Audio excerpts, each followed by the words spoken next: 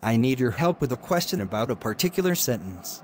It asks what the sentence walls of ears exemplifies. Do you know the answer? Let's go through the options together. What's the first one? The first option is entailment. Does ears fit this category? No, entailment refers to a relationship between statements where one statement logically follows from another. Walls have ears doesn't logically follow from any premise. It's more figurative. Got it. The next option is metaphor. Could this be the right answer? Yes, walls have ears is definitely a metaphor. It's a figurative expression meaning that people may be listening to private conversations, suggesting that information can be overheard even in seemingly private places. That makes sense. The third option is metonymy. Is this correct? No, metonymy involves substituting one word or phrase for another with which it's closely associated, like using the White House to refer to the US president or administration. Walls have ears isn't doing that. It's using metaphorical imagery. Okay, so that's not it. The last option is lexical ambiguity. Could that be it? No, lexical ambiguity occurs when a word or phrase has more than one meaning. Walls have ears isn't about ambiguous meanings of individual words, but rather about a figurative expression. So, to summarize, the correct answer is metaphor, because walls have ears is a figurative way of saying that conversations might be overheard. Exactly. Metaphor is the right choice here. Can you help me with a question about lexical borrowing? It asks which one of the following is not a lexical borrowing. Let's look at the options. What's the first one? The first option is loan translation.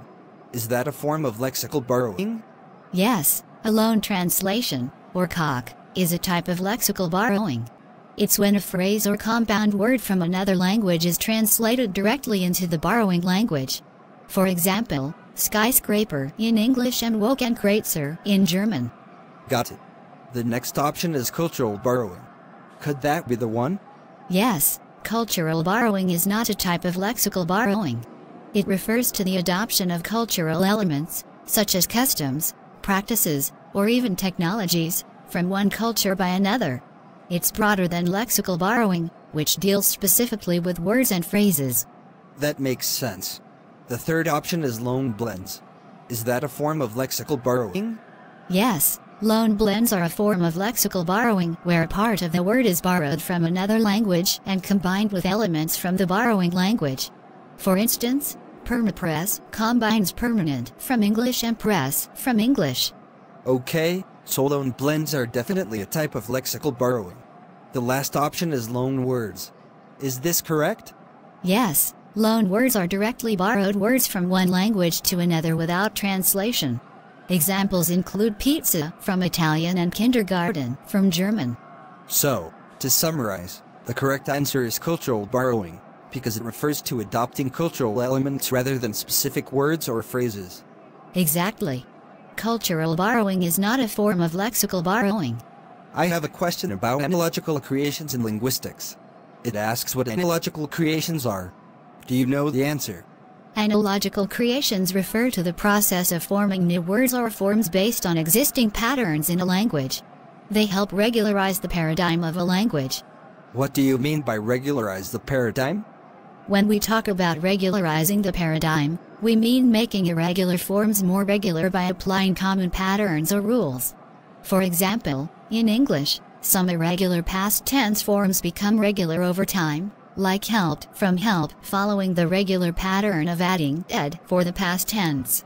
So, analogical creations help make the language more systematic? Exactly.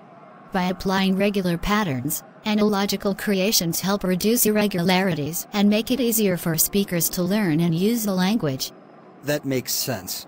So, the answer to the question would be that analogical creations are used to regularize the paradigm. Yes, that's correct. Analogical creations aim to regularize the paradigm by making irregular forms conform to more predictable patterns. I have a question about the decade of indigenous languages. Do you know which decade has been declared for this purpose? Yes, I do. The decade declared as the Decade of Indigenous Languages is 2022 to 2032. Oh, interesting. What is the purpose of declaring a decade for indigenous languages? The main goal is to raise awareness about the importance of indigenous languages and to promote their preservation and revitalization. Many indigenous languages are at risk of disappearing, and this decade is an effort to support and sustain them. That sounds really important. What kind of activities or initiatives are expected during this decade? There will likely be a variety of activities, including educational programs, documentation projects, language revitalization efforts, and policies aimed at supporting indigenous language speakers. The idea is to engage communities, governments, and organizations globally. Can you help me with a question about a form of self-narrative? It asks which term describes a self-narrative that places the self within the social context. Let's look at the options. What's the first one? The first option is ethnology. Is that the right term? No, ethnology is the comparative study of cultures. It doesn't specifically focus on self-narratives within a social context. Got it. The next option is autoethnography. Could that be the correct answer? Yes, autoethnography is indeed the right term. It's a form of self-narrative that places the author within their social context, blending autobiography with ethnography to explore personal experiences in relation to cultural, social, and political contexts. That makes sense. The third option is autoethnology. Is that a correct term? No, autoethnology seems like a misinterpretation or a typo. It's not a recognized term in the context of self-narratives. Okay, so that's not it. The last option is ethnography. Is this the right one? No, ethnography is the systematic study of people and cultures from the perspective of the subject. While it involves social context, it doesn't focus on the self-narrative aspect as autoethnography does. So, to summarize, the correct answer is autoethnography, because it describes a self-narrative that places the self within the social context. Exactly. Autoethnography is the right choice here. I need some help with a question about interactional sociolinguistics. Do you know who the proponent of this field is? Let's go through the options. What's the first one? The first option is David Crystal. Is he the proponent of interactional sociolinguistics? No, David Crystal is a well-known linguist, but he's not specifically known for interactional sociolinguistics. He's more recognized for his work on the English language and linguistics in general. Got it. The next option is John J. Gumperz. Could he be the correct answer? Yes, John J. Gumperz is indeed the proponent of interactional sociolinguistics.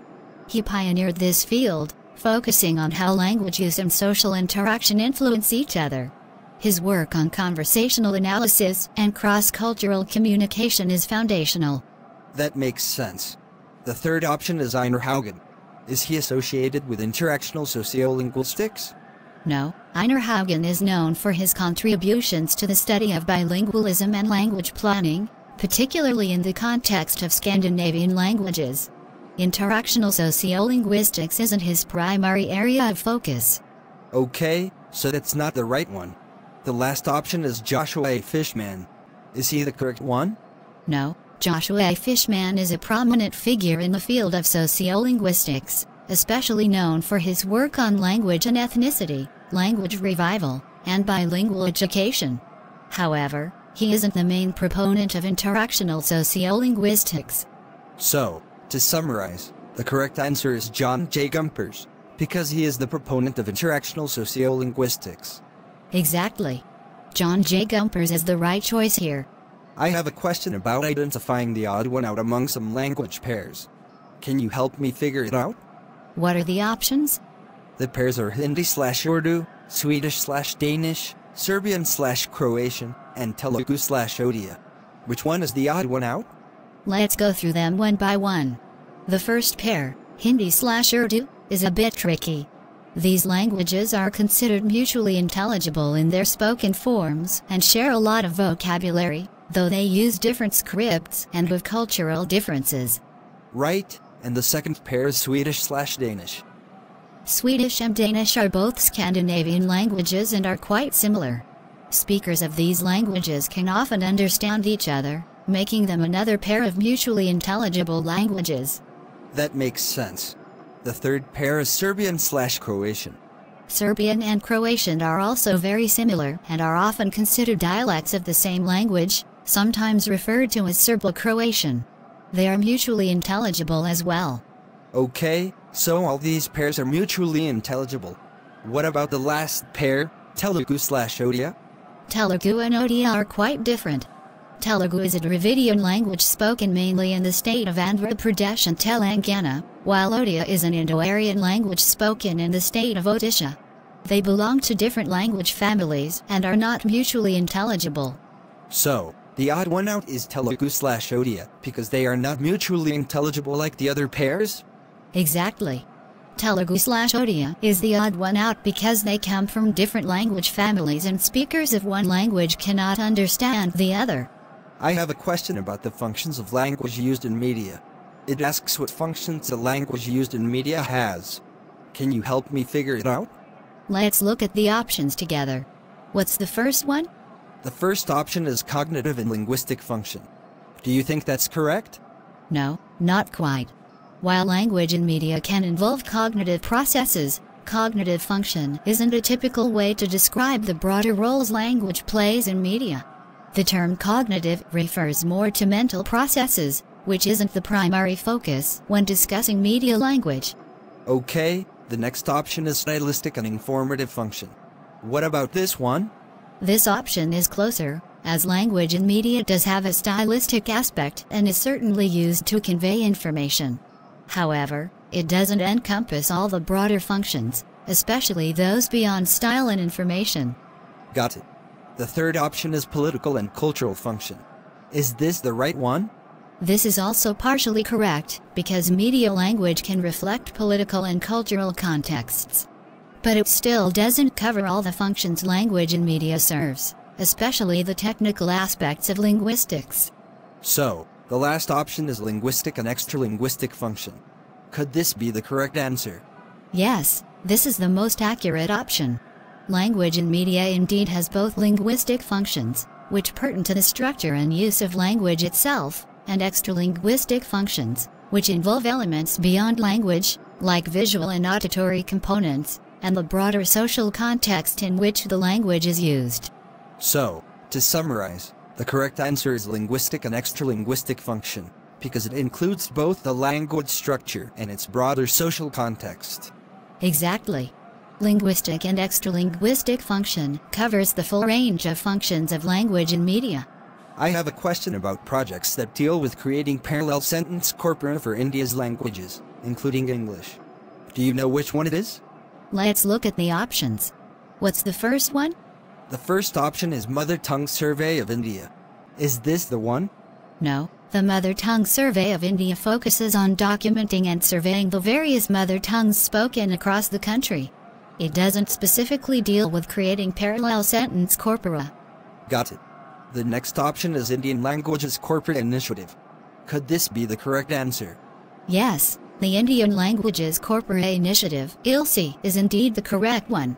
This project involves creating parallel corpora for multiple Indian languages, including English. It aims to develop linguistic resources that can be used for various applications, such as machine translation and language research. That makes sense. The third option is Scheme for Protection and Preservation of Endangered Languages. What about this one? No, this scheme is aimed at identifying and preserving endangered languages in India. It involves documentation and revitalization efforts, but doesn't specifically focus on creating parallel corpora. Okay, so that's not it. The last option is People's Survey of India. Is this the correct one? No, the People's Survey of India is more about conducting surveys on various socio-economic aspects of the population. It doesn't focus on creating parallel sentence corpora for languages. Sure thing.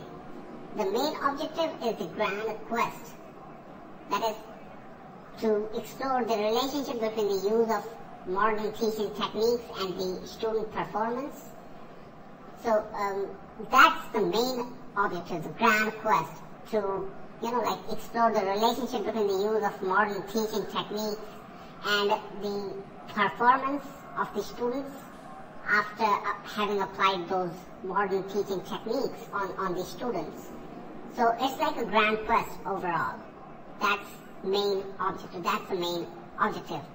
Exactly. The Indian Languages Corpora initiative is the right choice here. I need some help with a question about universal grammar. It asks which statement is not true about its features. Can we go through the options together? The first option is universals have no exceptions. Is this true? Actually, this statement is not accurate in describing universal grammar features. While linguistic universals are general patterns or tendencies observed across languages, there can be exceptions. So, this statement being false could be a correct answer. Got it. The next option is universals are process independent. What about this one? Okay, I will tell you about it so, this statement is true. Universals in the context of universal grammar are considered to be independent of specific language processes, meaning they apply broadly across different languages without being tied to particular linguistic mechanisms. Alright, folks. Now we're talking about the star of the day. Who is it? Triangulation. That makes sense. The last option is universals can also be considered as typological generalizations. Is this one true? Okay, I will tell you about it. So, no, this statement is not true about the features of universal grammar. Universals in universal grammar refer to innate linguistic features shared across all human languages, while typological generalizations are empirical observations based on the study of different languages. They are not considered the same. So, to summarize, the correct answer is universals can also be considered as typological generalizations, because this is not true about the features of universal grammar. This is the statement that doesn't correctly describe the features of universal grammar.